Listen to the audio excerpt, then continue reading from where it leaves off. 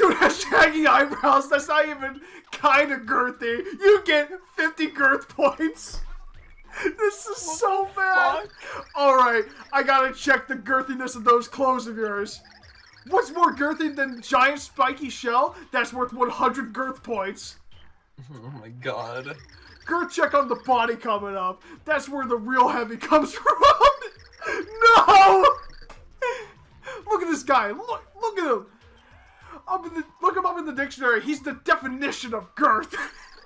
Super heavyweight right here. Bam! 10,000 girth points. Oh my god. The sheer girthitude of display here is blowing my mind. There's no getting around it. You got heavy like never seen before. Anyone that gets in your way, you just have to girth them up.